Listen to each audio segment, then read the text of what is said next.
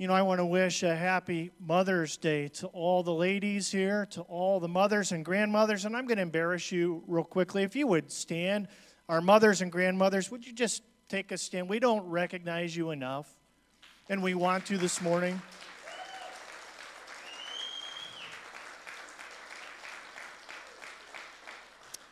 God bless you, and husbands, dads out there, please, please uh, spoil that uh, special person in your life today. You know, this morning is a special Sunday. We have quite a, a bit today going on in our worship. Today, we have Deb Bonzel. Deb is the longtime student director uh, of ministries at Salem Covenant Church in Oakland, Nebraska. And she is here this morning. She is going to share an initiative that is happening in the Midwest Conference right now with the women's ministries, and she's going to talk about a, a, covenant Bible camp that we have in the Appalachian Mountains in Jonesville, Virginia. And I don't know if you know this, but Jonesville, Virginia, the Appalachian Mountain area is one of the poorest areas in this country. And, you know, for the last, I would say, 15 to 20 years, we've been kind of spoiled by Covenant Cedars Bible Camp. We really have some wonderful facilities at Covenant Cedars. Not all camps are as blessed as Covenant Cedars. And so Deb's going to talk a little bit about this mission priority that we have occurring at Covenant Mission Mountain Bible Camp, right? I'm, yeah, I was close. You'll get to you'll you'll correct me when you get up and, and speak. So she's going to talk about this more about that this morning, and we are actually going to take a retiring offering for that ministry at the conclusion of our worship service today. We have a, a plate on the back table there, and if you would like to, to give towards this, um, we would just encourage you to do so out of generosity. So, as we enter into a time of worship, let's go ahead and bow our heads in prayer. Gracious God, on this very special day of days that we call Mother's Day. We come to worship you, our great Father in heaven. And we know that you're not just in heaven, you are here with us today, Lord. Your presence is all about us. Your Holy Spirit is intertwined with our lives and shaping us to be the people that you've called us to be through your Son, Jesus. And I pray now, Lord, that whatever we bring in to worship this morning, you would just quiet our souls so that we can listen and hear from you today. We pray, Lord, that we would glorify you now as we sing songs together in Jesus' name. Amen.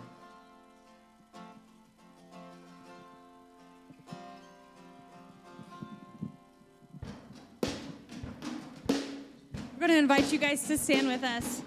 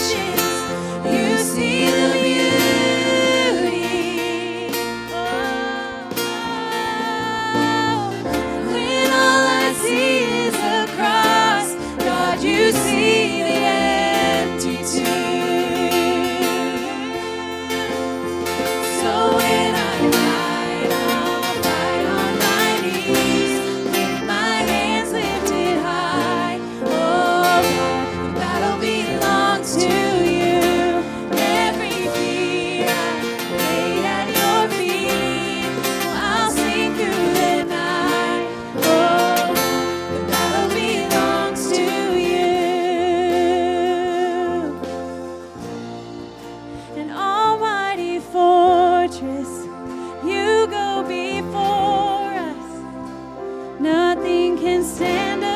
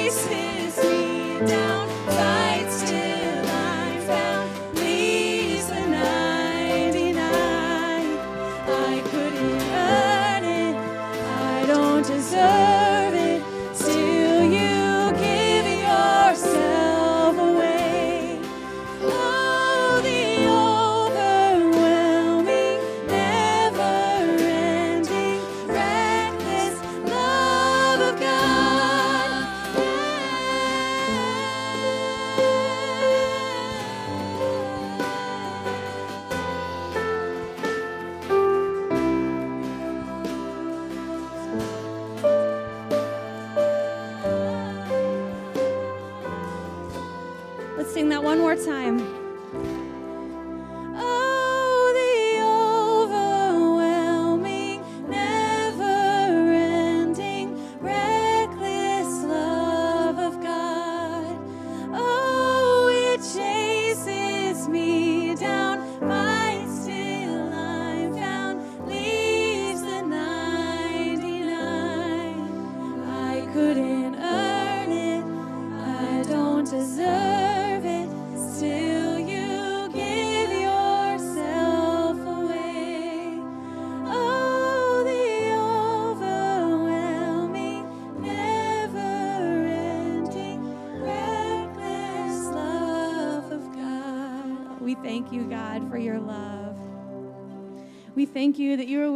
die on the cross for us before we were even born. Lord, and we thank you for the women that you placed in our lives that have been just examples of your love and your nurturing spirit, Lord. We are so grateful for you and your love this morning. In your name we pray. Amen. You may be seated.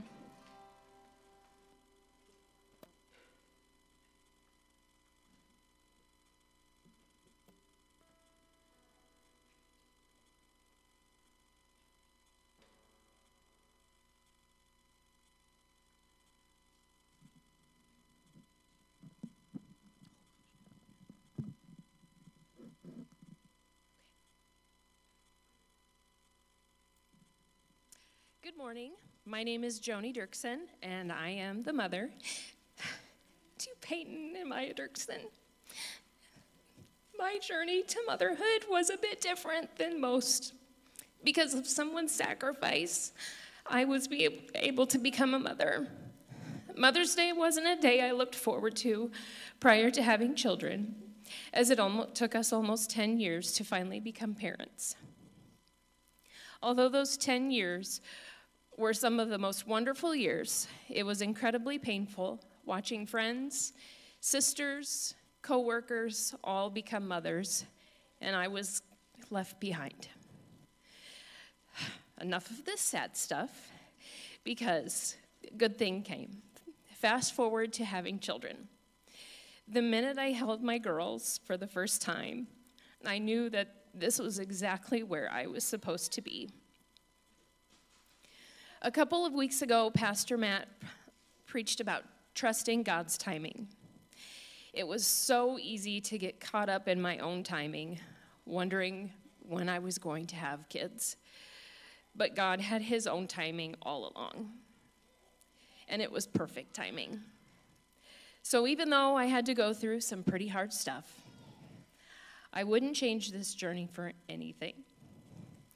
I pray that I'm doing everything I can to instill my Christian beliefs to my girls. And when I see their love for this church and for Jesus, I think I'm doing okay. Thank you.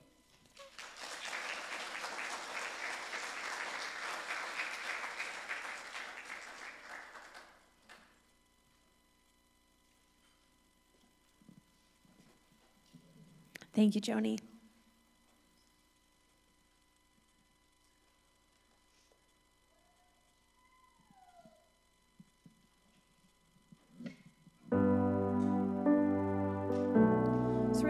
This song that we probably all know. But as we sing it, I just want it to serve as a reminder that as parents, as adults, just as people, as Christians, the love that we have and the light that we have through Jesus is meant to go into the world. It's meant to be a light in the darkness. The Lord is able to give hope and restore through us. So I want to invite you to sing this with us, but if you can, in your heart and your mind, sing it as a new song that we're not talking about just what the Lord can do, but what the Lord can do through us. Like what Joni was able to do with her children and is still doing every day, and what all of you are doing by being here worshiping the Lord on Sunday morning. You are bringing light into the darkness.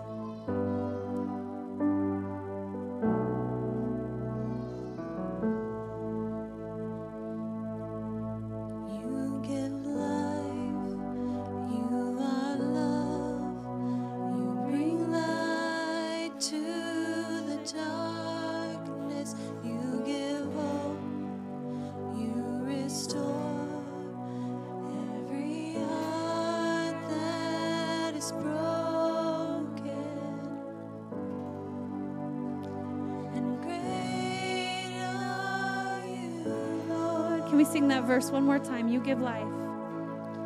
You give life.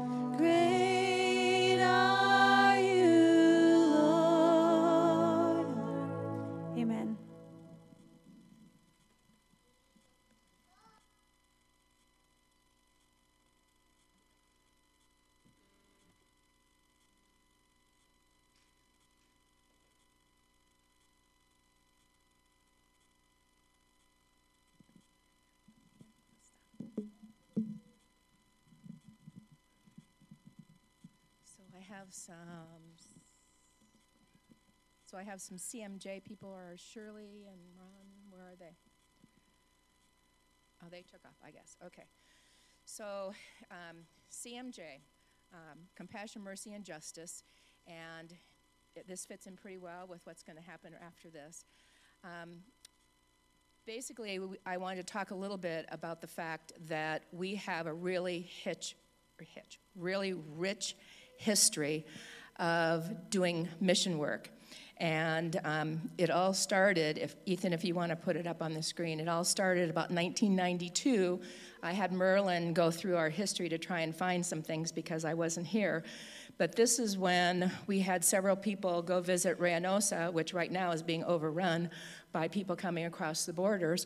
But we had, I think Marlene went, and Daryl Swanson and Jack Johnson and I think um, one of the Limbeck girls and somebody else um, were down there, and you can go ahead and flip. There's two more slides. This is them, and I don't recognize any of those pictures. But um, then there's also a picture of them painting and building these. They look like clapboard houses to me, but they obviously were people in need and need to have housing, and that's what they did. I believe that they went down a couple of different times. And then after that, um, I have my. The next picture would be, um, go ahead and switch that. All right, the next one occurred when the Big Thompson River um, broke through and it collided with the uh, Poudre River and it all went into the South Platte River just outside Greeley, Colorado. And there were a couple of streets of Hispanic residents that um, had been approached by multiple carpetbaggers. And the water had come through, and you can see the water line on there. It came rushing through. They had very little time to grab their kids, their car, their pets, and ran out. And their houses were full with water. Go ahead and flip, Ethan. And we went down there for a long weekend and we chipped tile and put up wallboard and all kinds of stuff. This happens to be a family who was working um, to it was like a work ethic kind of thing where they they fed us breakfast they fed us um, dinner and in the meantime we ran back and forth to different houses doing various things. Go ahead and flip ethan. Um, at the end of the street this was an entire community of uh, trailers and as the water went through it pushed every single one of them off their foundation and the city had to go in and lock them all down. So you can see what the devastation is for that. But uh, go ahead and flip but we're in a basement right now where the water was, uh, these were all split level homes and it just came rushing in. We're chipping off tile off the floor, tile off the walls, and uh, trying to lift it up out of basement windows and that kind of thing. And the one thing that happened is that we had to bring all of the stuff out to the streets for the city inspectors to take a look at it, know that it was used and it wasn't going to be reused.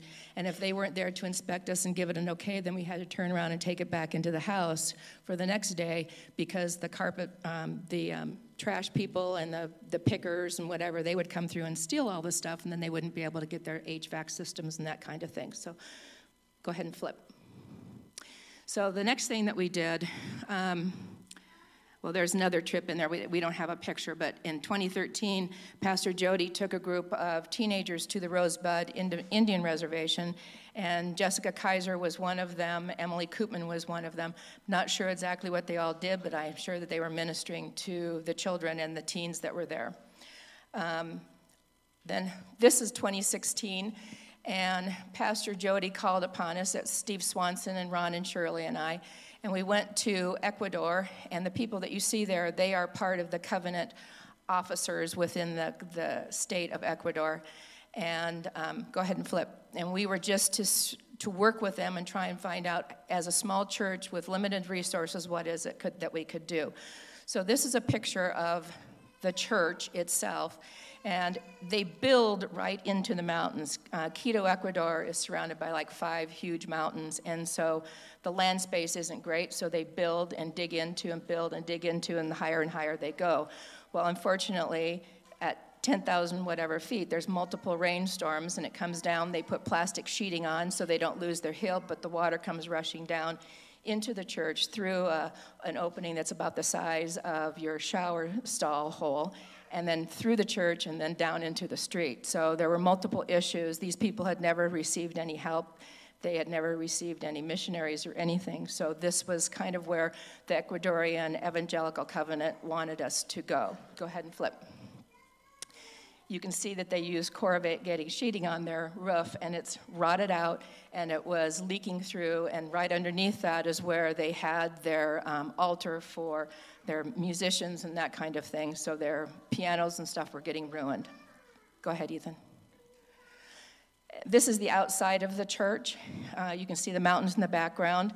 Uh, they don't build like the way that the rest of us build and so they build one level at a time, stick rebarb up, and then the, the, the uh, state can't tax them, and then they build another one, and then they leave rebarb, and then they build another one, so they never get taxed. But they don't have the funds to do any of the upkeep for whatever they had. So this is what the outside of the church looks like. Go ahead. So, beginning right here um, in 2018, um, Beth and I and Pam Randall and Tucker Randall and Ron and Shirley and I think that's it, right? Um, went back. This time we had a mission. We had raised funds. Um, if you were in the church at that time, then you were probably part of our fundraising effort.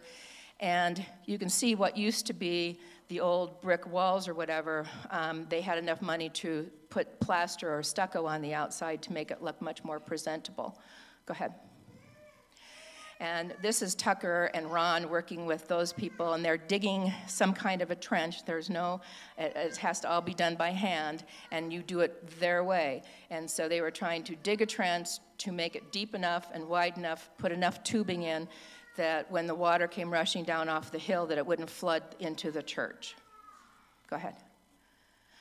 And a lot of moisture in Ecuador, and so these are their classrooms, and the paint was just peeling off horribly in there. So uh, Shirley and I and, and these gentlemen were tasked with uh, peeling off as much as the paint we could, and then they, would, they went back in and, and replastered. The whole time this is going on, we had um, a medical clinic going on there as well. We, ha- we had got, partnered with Saunders Medical Center and bought um, medications and whatever to take to them to use, and I'm going to let Beth speak to that just a little bit. Um, so Kim is one of our missions missionaries down there, and she's actually a nurse practitioner. And so her and I and um, I had a um, interpreter with me the whole time, um, as well as we had another physician there. Um, saw many uh, residents just that would come and see us, and actually we would give them prescriptions, and they'd go to the pharmacy there to fill it. But they are just all very grateful people and very hardworking people and have a very deep faith. And so it was very, um, not only did we do the work, but the um, just the Bible, not so much Bible study, but I guess just um, discussion about our faith and worship with them was very special and very meaningful. Yeah, we did a women's workshop. We did women's crafting. We had it was also uh, Ecuador Children's Day, so we did activities one whole day just about that. Uh, Ron led a men's group, and then we had a couples group one night. So it's not just about going and working and giving up your time. That we were also um, trying to spread the word, and, and, they spread it just as much to us as we did to them. Um, go ahead. And so this was the last day that we were there. That was everybody that was in church except for the person who was taking the picture. But um, really wonderful people. We really enjoyed them. Um, I think, uh, Ethan, is that the last one? Okay, okay, so this is up in Cayambe, which is where um, the Delps do most of their work. And um, you can see Joel over, clear over on the left side with the white shirt. And um, it's just, we had an opportunity to, we didn't spend much time there. We just went and visited that day before we got on the airplane. And in a minute, I'm going to talk about Juan Montalvo. And his wife has the pink shirt on, and she's hugging him. If you can see him kind of piggybacking on him. So he is uh, kind of the mastermind with the Delps in terms of getting uh, Casa Hogar and the Santiago mission um, all up and running in, in Cayambe. Go ahead. Is that the last one? One more? Okay. Okay, all right, the last one. All right, so the reason for doing this today is the first time that we were there in 2016, where there was just the, the four of us, um, we had, as a church, we had donated money over the years to the Santiago Project. And when we left, they, um, Juan Montalvo and his wife presented us with this scarf. And for the last several years, it's been hiding in the East Room in a drawer. And so we decided it was time that we got this framed.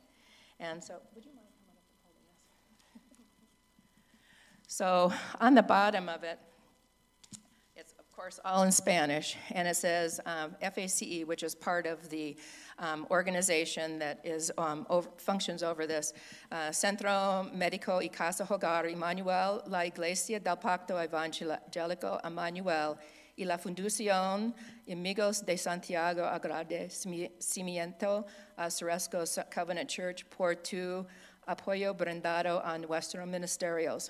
And basically, what that says is that the Centro Medico is the medical mission that is there, and um, uh, del Pacto Evangel- Evangelico Emmanuel is the name of Pastor Jose's church. Pastor Jose is the gentleman clear over on the right side, and he's holding his thumb up. And uh, the Fundación Amigos de Santiago uh, is the foundation of the Santiago Partnership, and that they are grateful for the time and the effort and the money that we gave in order for them to be um, successful in their ministries. And so um, we're giving this to the buildings uh, people to find a place for this to rest. And then also, um, the first time we were there, or this last time, um, the church um, in Quito, uh, the Iglesia Casa del Oración Jesus El Salvador, uh, is the Church of Jesus Christ, uh, the Savior, and uh, they gave this. And it, in the bottom it says, for his social work and gift of service for the strengthening of the church's temple, as well as his seed of love given in the ministries. So I just wanted you all to know that um, there are multiple different things that we do in compassion, mercy, and justice. Um, this is probably the most time consuming, and, uh, but it's probably one of one of many grateful things that we do.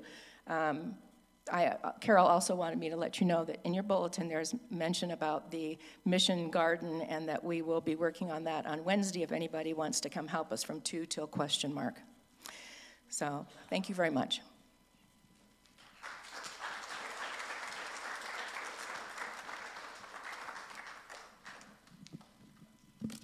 At this time, we're going to celebrate offering, so I'm going to invite you to bow your heads as we pray. Lord Jesus, we thank you that we are able to give to your kingdom. We thank you that we're able to see the work that you're doing, not just in our walls, but outside of our walls. And outside of our country, God. We thank you that you have blessed us all with gifts um, so that we can do work for your kingdom, whether it's monetary or with our talent or with our time. Um, we thank you, Lord, this morning that you're present in our lives, and we pray that you will just continue to use us in our church as we take your kingdom to the ends of the earth. Ushers, you may come forward.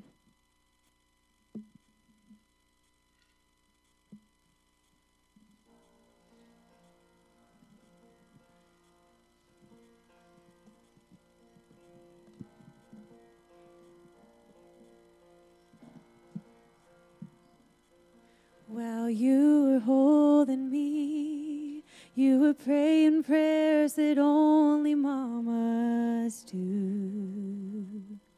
While you were holding me, you were fighting battles your babies never knew. Ooh. And I never knew till now just how strong you were, fighting all your tears while wiping mine. All that darkness you lived through couldn't dim that light inside of you. All the broken pieces, you kept giving them to Jesus. And you gave you strength to raise me up, knowing one day I would see He was holding you while you were holding me.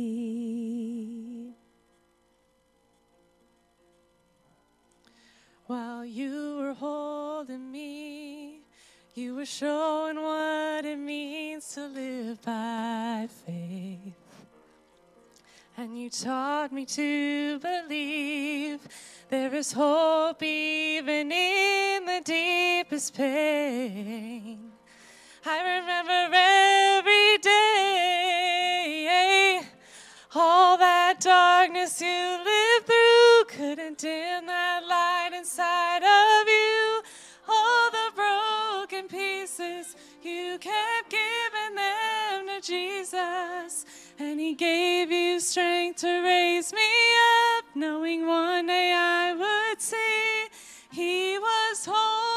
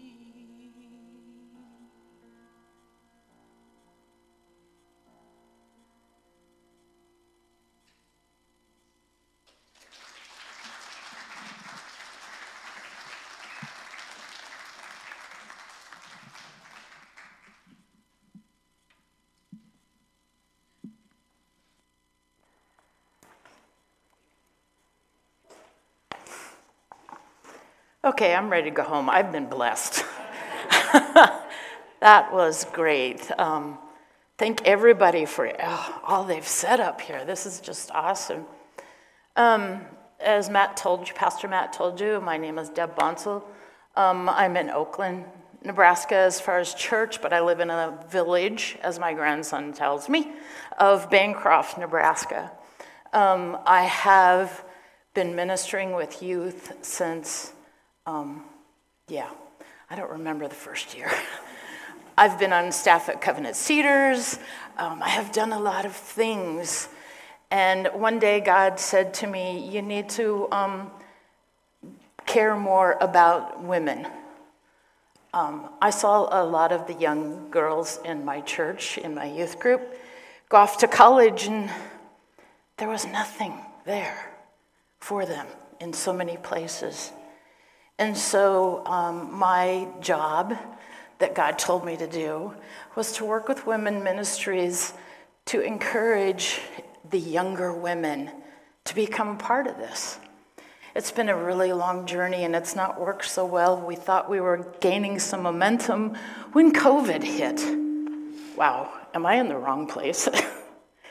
um, COVID has affected all of us so many ways, but it never affected God. you know, He never changed.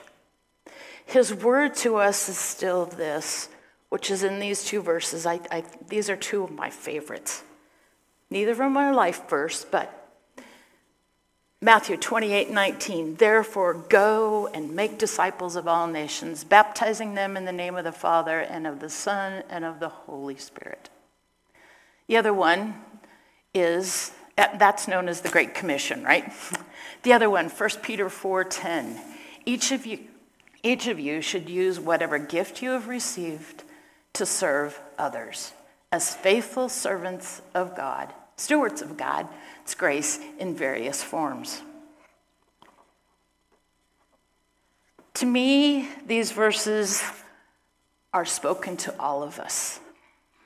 You might not be a missionary that goes to a different country. I've been to Reynosa 14 times, so you're talking about Reynosa was right on for me. But he still tells us to go. That's a key word in the commission, the Great Commission go. Again, it doesn't mean you have to go somewhere, it means you have to do. You have to live a life, and your actions have to encourage others to become disciples of Jesus Christ, just as you are. We all believe that anyone who is a believer in Christ knows that God is the one and only true God. And that's what our words and actions need to say by us going. In the second verse, we have the word use. Each of you should use whatever gifts. now, um, some of you might think you're not very talented. Well, talented and gifted aren't necessarily the same words, but each of us have an ability which is a gift from God. Whether it be hospitality, I swear my mother is one of the most hospitable people that there are. What a great example my mother was for me and is, she's still alive, in that area. We're supposed to take these abilities and serve others, whether it be hospitality. Maybe you're a really good listener. So many of us, when we hear something, our brains automatically start saying, okay, what are you going to say back? But to sit and listen. One of my favorite um, comic strips has always been Winnie the Pooh. And my very favorite is when Winnie the Pooh or Eeyore, are just sitting and they're very depressed. And little piglet comes and says, What can I do for you? Oh, well, they will say, There's really nothing you can do. And he sits down beside them. Doesn't say a word, but he's there. And he's listening when they are ready to talk. Teaching. Into the school year right now, right? Bless those teachers. I know after working in a school that the last two weeks, actually six weeks maybe, are some of the hardest but they keep on teaching. Sometimes when we're teaching a Bible study or Sunday school or, or other things about God, it can be a little tough. But God gives special abilities to those that He has teach. Serve. We can serve God in so many different ways. Here at church, I don't know about you, but I feel that the person who cleans up after us every week needs a badge, you know? That's a service. And some people don't think of that as a service to God. That special ability to clean up isn't necessarily thought as a gift, but it is. We all have these gifts slash abilities. Are you using yours for God? This morning, I want to share with you a little bit about Covenant My Mountain Mission Bible Camp. I almost said it backwards. it's known as CMMBC, okay? Just as Covenant Cedars is known as Cedars, it makes a little short. Us Americans are so good at shortening things, don't you think? Uh, but Covenant Mountain Mission Bible Camp. I was first to Covenant Mountain Mission Bible Camp in 2011 when uh, Sherry Erickson of Lincoln and I uh, and a couple other adults took some students to Covenant Mountain Mission Bible Camp to help them open up for the summer. Covenant Mountain Mission Bible Camp is a summer only camp at this point in time, although they would like to become a year round camp. And so in the spring, they need, need some extra help to get the buildings ready because they've been closed up all winter, okay? I also was there last year in order to prepare for what women's, the Midwest Conference Women's Ministry is going to be doing. Our board has decided to make a partnership with them and do some work with them. A little about the beginnings of Covenant Mountain Mission Bible Camp because I want to tell you about the three women who really were instrumental in starting this camp. Um, there was a lady named Gertrude Warner of Lincoln, Nebraska, and a lady named Naomi Sunberg of Stanton, Iowa, who had the vision of going to the southern mountains of the United States, which is Appalachia. And um, a lady named Violet Larson, who had been a missionary in China, uh, and the doors were closed, she couldn't go back over there. So she joined um, this mission. Um, actually, it was Gertrude and Viola who first uh, went to Jonesville, Virginia. They left uh, Chicago, Illinois um, in October of 1941 and traveled to uh, Jonesville. Um, after meeting with the covenant offices, uh, who at first told them, Well, we don't have any initiative going on in the southern mountains in that area, so there's nothing for you to do. And they both, all three of these ladies, had a heart for that area and wanted to do something. Well, unbeknownst to them, a gift of $1,000. Now, this is in 1941, okay? $1,000 from churches in the uh, St. Paul, Minneapolis area came in to the covenant offices with this designation for work in the southern mountains. So the ladies purchased a vehicle. Some records say that it was a 1929 Chevy sedan, and other records say that it was a 1931 Ford. Regardless, It was a little bit older car. And the ladies soon named their car Shasta. Because, you know, she has to have tires, she has to have gas, she has to have a driver. This was their car.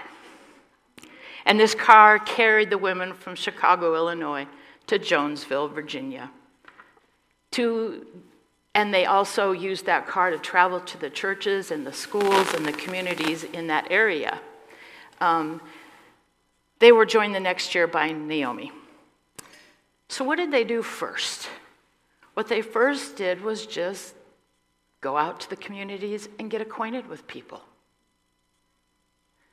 They wanted to minister in this area, but they needed to know more about the area and more about the people in order to know how to go about ministering to them.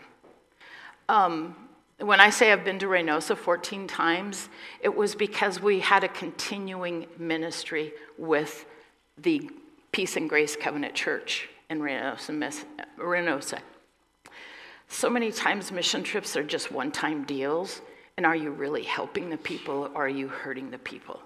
Get to know them first so that you can be a very good help to them. Over the next few years, they would be joined by more staff, usually just summer staff because they're not a year, at, even now, they're not a year round camp. But at that time, um, they were often uh, students from North Park that would come for the summer.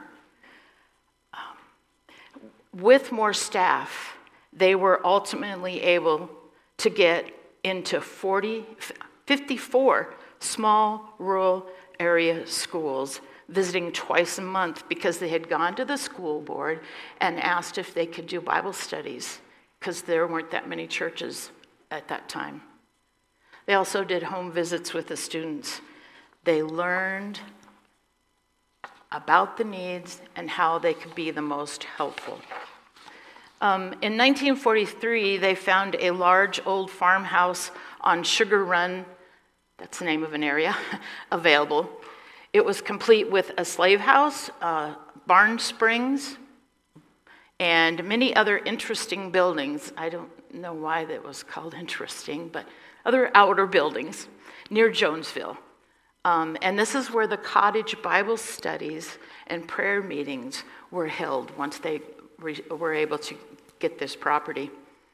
Um, an annual report in the of the mountain mission that was in the Covenant Yearbook in 1950 said they reached over 5,000 boys and girls in the last year by visiting the schools and the homes in the area. 5,000. Churches that were started by the Home Missions Ministry. Um, I think I have a slide about that. I kind of forgot. Maybe not. Is there? Oh, this is the area. Sorry. If you look at this, you will see the, the red dot that says that's where I want to go. Uh, you will see that Kentucky, Tennessee, North Carolina, Virginia, I mean, they're all right in there, right? That's where they are. They're at the foot of the Appalachia Mountains. Um, but in 1949, you can go to the next slide. Um, there, oh yeah, Shasta, the car. This is a couple years later after they were there, but that's the original car. Go to the next slide. Okay, here we go. um, in 1949, they received a deed for land um, in Walnut Creek area, which is just a few miles from the, the now camp. Uh, it's called the Walnut Creek Church, and uh, I've been there. We went to Sunday services there, and excuse me, um, the building started. It was dedicated in May of 1952, um, but they held Thanksgiving and Christmas services there in 1951, even though the building wasn't done. You'll notice that they've got the walkway and the cement and everything. When it rains, you can't park your car down where that car is parked because the water comes through. Another church, um, which the, is the next slide, is the Mulberry Gap uh, Church in Tennessee. Virginia, Tennessee, they're kind of in that area, so it's really easy to go to all three uh, states. Uh, and this one they started a school in that area, and uh, in 1951 and 52, this building was erected and constructed by the people in the area. They didn't get any funds from the covenant offices. They did this all on their own because they felt the need was so great. Sunday school classes were held in so many areas, in schools as well as church buildings, and um, youth group meetings were also started. The Covenant Mountain Mission Bible Camp itself was started in 1950. They purchased army cots, much like Covenant Cedars used to have. If your parents went to Covenant Cedars, you slept on the army cots, which I was a counselor there for many years, and every time a kid turned over, you heard the creak, creak, creak. Yeah. Um, most of the children who attended the early camps were children from mining camp schools, from, because the mining was so popular in this area. Um, it's not so much anymore. This area is just getting poorer and poorer because um, the mining has been taken over for the good of the people, but it's been taken over by machinery, and so therefore there are not the jobs. And when you go to this area, it is absolutely devastating to see what changes have come um, because of the mining industry being different. Um, the really cool thing about many of the children that uh, the women who first started the camp and ministering in that area um, have gone on to North Park, have gone on to other Bible schools, and are doing ministry work themselves in other areas. Covenant Mountain Mission Bible Camp was born out of the ECC's movement to reach beyond the Swedish people they had historically supported and begin to become a denomination with a missional outreach to all Americans and just not Swedes. As we all know, the Evangelical Covenant Church started was started by Swedes and was mainly Swedes for many years. The Covenant Church I go to in Oakland actually had services in Swedish until 19, I think it was 49 or 50.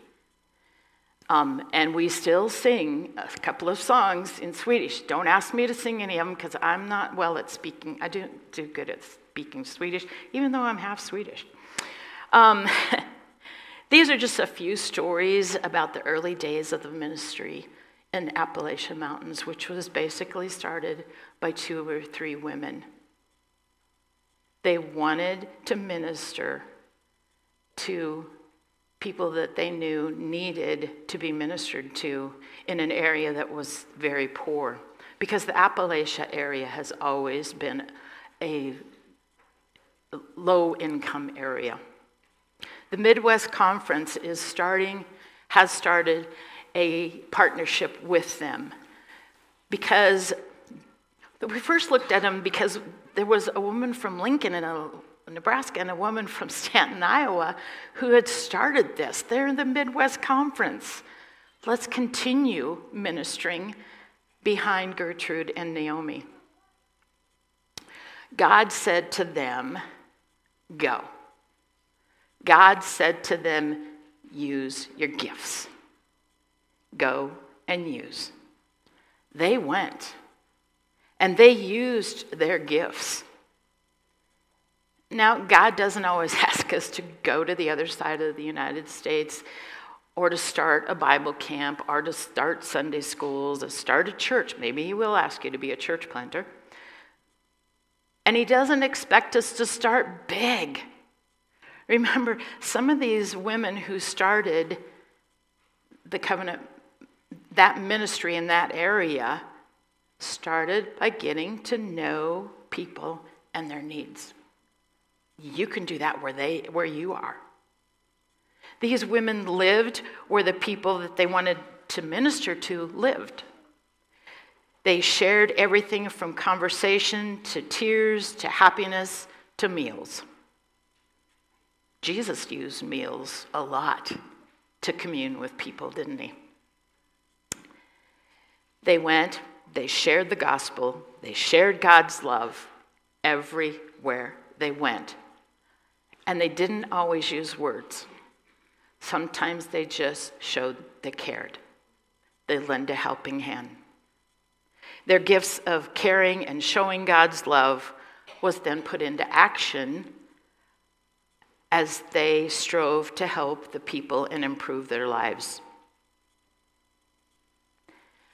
There's one thing I want you to know. They went in 1941. What was, what was the United States happening? What was going on in 1941?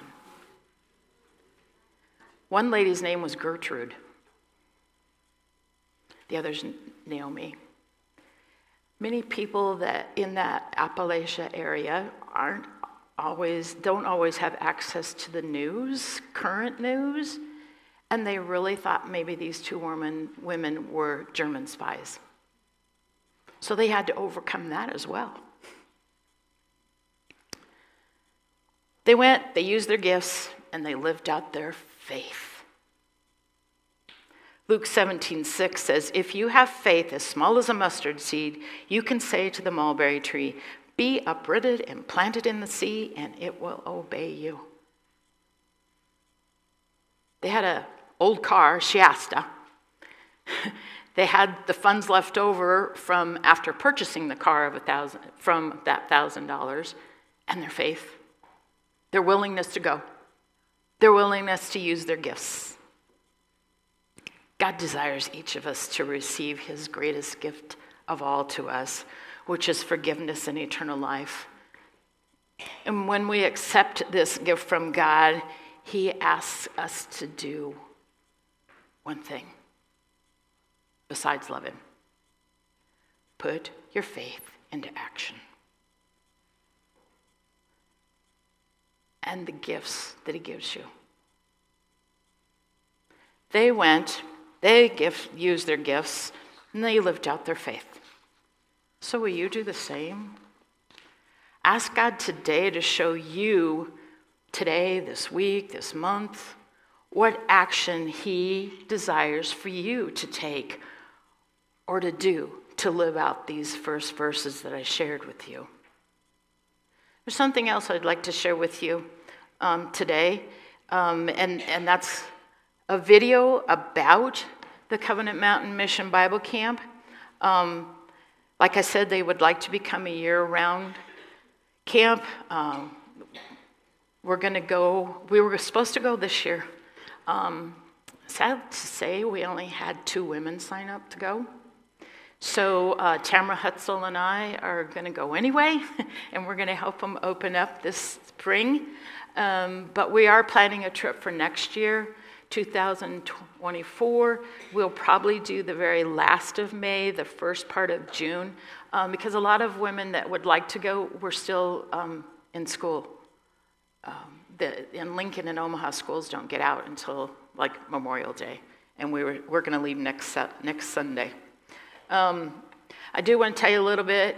You might see this, you'll see this in the pictures, but their cabins are basically, um, well, the boys' cabin. Yeah, this is the dining hall and the recreation building. You can go to the next one, and the chapel. That's the uh, Washington County Church. Oh, it's a video, so it's going to go in its own time. I forgot. anyway, you'll see in this video that the boys' cabins, it looks like a machine shed.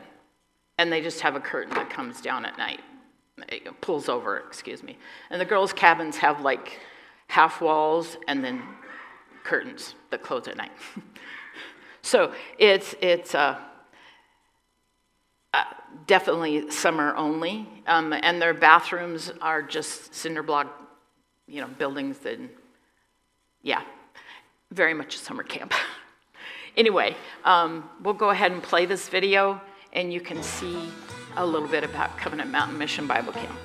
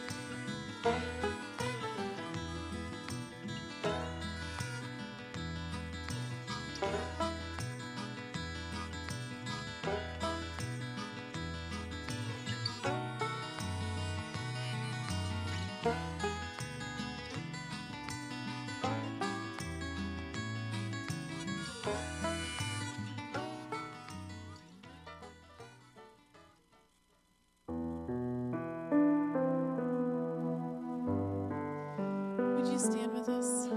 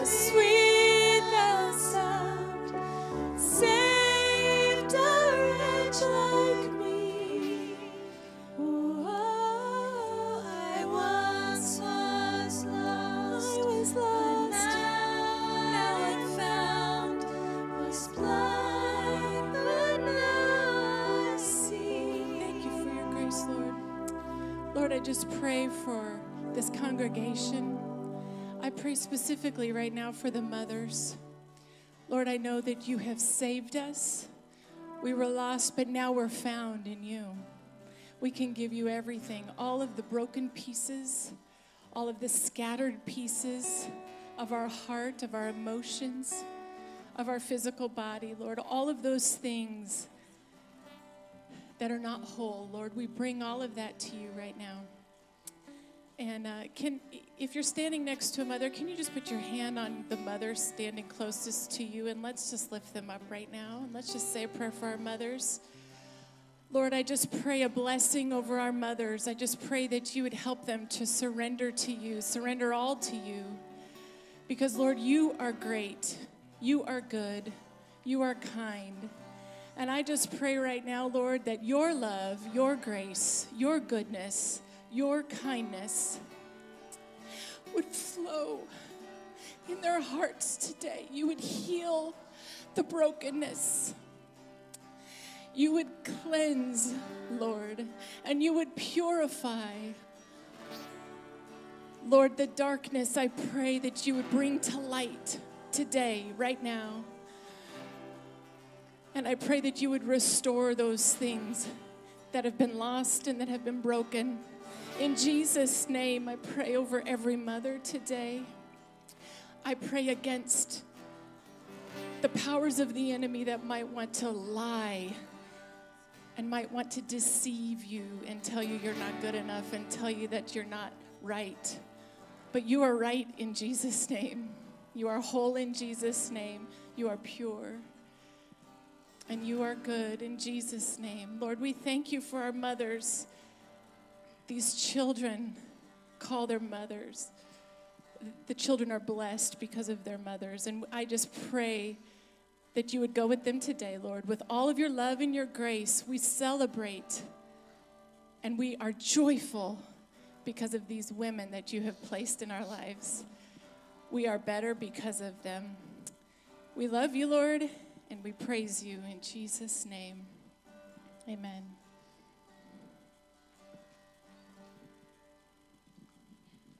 Church, we want to thank you for just indulging us and going a little bit longer this morning. We hope you were blessed today in so many different ways. Uh, we thank Deb for being with us today and sharing. And if you would like to give to Mission Mountain Bible Camp, there is a plate on the table right back there, and you can either either drop cash in there, or if you want to make out a check, you can make out a check to Women Ministries, and that will go to the, the right people. So let's let's bless Mission Mountain Bible Camp the way that Covenant Cedars has blessed so many of us as well. Now, you've probably also seen in your bulletin that today is going to be my last Sunday to be with you until after July 5th. You will not see me here. Um, we're too small of a community for us not to bump into each other, so we're, we're going to still see each other. But I'm going to be really engaging, and I have a research project that I'm going to be working on while I'm on sabbatical.